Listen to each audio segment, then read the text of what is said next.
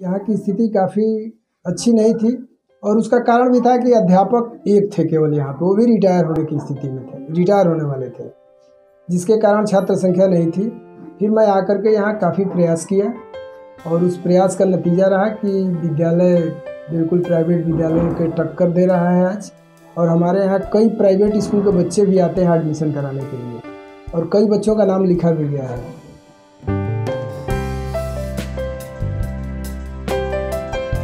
हमारे यहाँ बच्चों को कंप्यूटर शिक्षा भी दी जाती है, टीवी, डीवीडी प्लेयर के माध्यम से भी शिक्षा दी जाती है।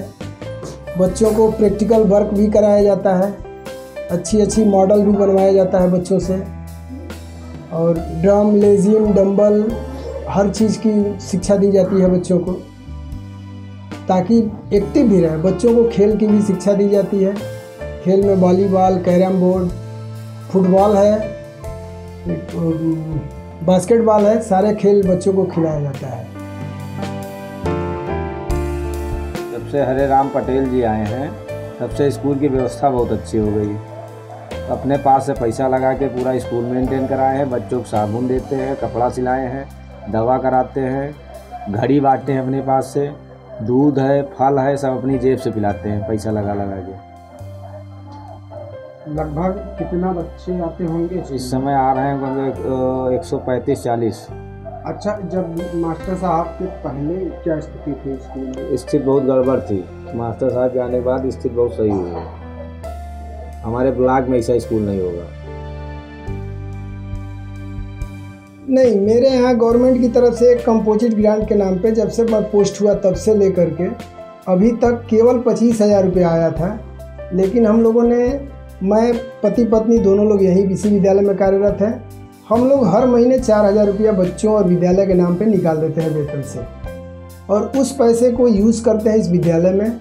विद्यालय का पंखा वगैरह नहीं था, गवर्नमेंट की तरफ़ से नहीं आया था। हम लोगों ने विद्यालय में लगवाया। वायरिंग गवर्नमेंट की तरफ़ से हुआ था विद्यालय में। तो ये सारी व्यवस्थाएँ हम लोग करते हैं। और बच्चों के लिए भी अच्छा से अच्छा जैसे बच्चों को हाउस ड्रेस भी यहाँ पे दिया गया है। बच्चे वेनेसडे और सैटरडे को हाउस ड्रेस में आते हैं।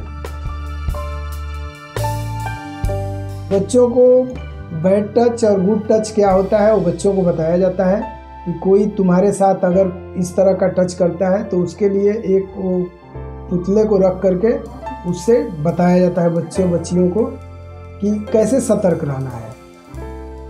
और बच्चों को ग्रीष्मावकाश में भी स्वयं स्टैंड करने के लिए सिलाई कढ़ाई की कंप्यूटर की भी शिक्षा अलग से दी जाती है, जिससे वो आगे चल करके समाज का जिम्मेदार नागरिक बन सके।